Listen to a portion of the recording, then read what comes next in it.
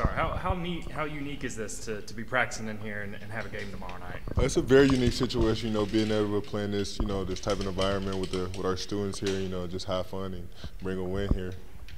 Have, have you experienced something like this before, like a students only game in a, in a different spot on campus? Never, never. This is the first time. I'm very excited for this game. Like I said, very pumped up.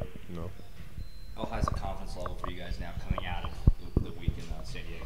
I feel like it's the same, you know, just staying confident, staying the same, you know, not getting too high, not getting too low, staying confident within ourselves, just continue to put in our work that we know that we can put in. What's the most important thing you guys maybe think about yourselves over that two days? Uh, you know, we can fight through tough times, you know, we can overcome adversity, you know, if we stick together, feel like we can beat anybody in the country. What's been the key to your early three-point success? Like I said before, you know, just my coaches trusting in me, my teammates trusting in me, me trusting in myself, you know, just repping, repping threes up, you know, just, just trusting my work.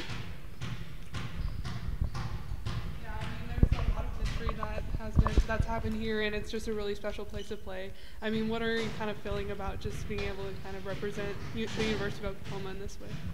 It's, it's you know it's big to represent here. You know this this college. You know this gym. You know playing in it like you like you said it has so much history in it. You know just just giving the respect back to all the old guys who play here. You know and fought for this gym.